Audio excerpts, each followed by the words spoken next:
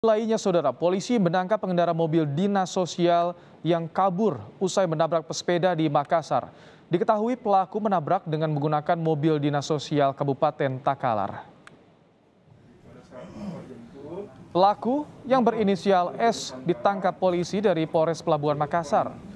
Pelaku menabrak pesepeda dan kemudian kabur dengan mobil dinas yang diketahui milik Dinas Sosial Kabupaten Takalar. Dari pemeriksaan, Pelaku mengaku dalam keadaan mengantuk sehingga mobil yang dikendarainya sempat oleng ke sebelah kanan dan menabrak seorang pesepeda. Polisi mengatakan seusai menabrak, sopir yang membawa kepala dinas sosial Takalar memutuskan kabur dan tancap gas menuju ke Kabupaten Takalar. Terjadi eh, tabrakan pada saat itu dari pengakuannya dia dalam keadaan ngantuk ya sehingga uh, kendaraan oleng ke kanan sehingga menabrak salah satu uh, rombongan yang bersepeda.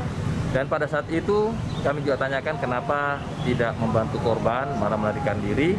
Ternyata yang bersangkutan katakan dia ketakutan pada saat itu karena di, di sekeliling TKP banyak yang teriak-teriaki.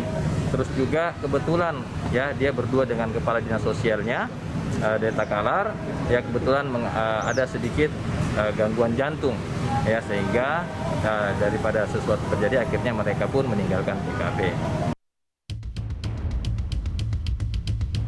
Rabu 28 Juli, mobil dinas sosial yang diketahui milik Dinsos Kabupaten Takalar menabrak seorang pesepeda di Jalan Nusantara, Makassar.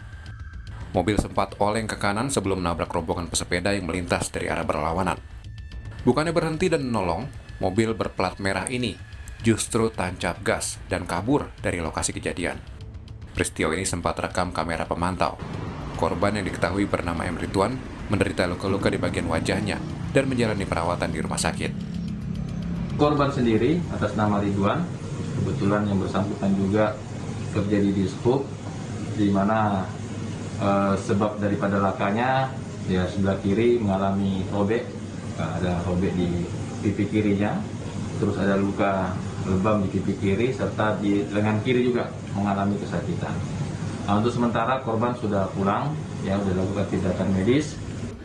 Setelah memeriksa hasil rekaman CCTV dan menanyakan saksi-saksi di lokasi kejadian, polisi kemudian menangkap pelaku yang diketahui merupakan sopir Kadinsos Kabupaten Takalar. Mobil dinas yang dikendarai pelaku pun kini jadi barang bukti. Arif Tirtana, Kompas TV, Makassar, Sulawesi Selatan.